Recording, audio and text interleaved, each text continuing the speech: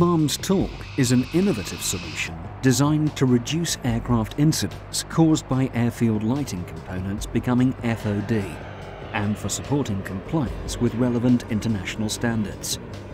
This solution has been developed following a number of incidents where airfield lights have become dislodged through loosening of the retaining bolts or studs as the result of vibration and negative air pressure from passing aircraft.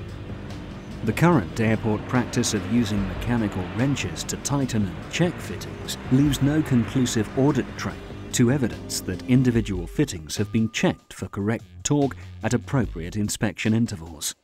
The MALMS Torque solution allows an airport operator to automate and digitally record this airfield light inspection and maintenance activity.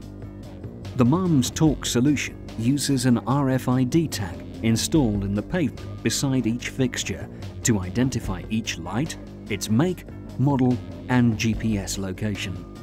Each unique tag ID is read with a stick reader and transmitted via Bluetooth to the MALMS data logger. The data logger identifies the airfield light type from a database and communicates the required torque level for each fastener to the torque wrench.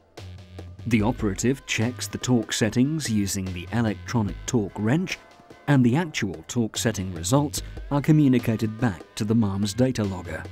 The MALMS data logger records and stores the results, which can then be transferred to a management information system providing a comprehensive audit trail to confirm the maintenance process has been followed. The reporting software can record details of the work performed, when it was done, who did it, the tools used, including calibration detail, and the actual results of the work performed.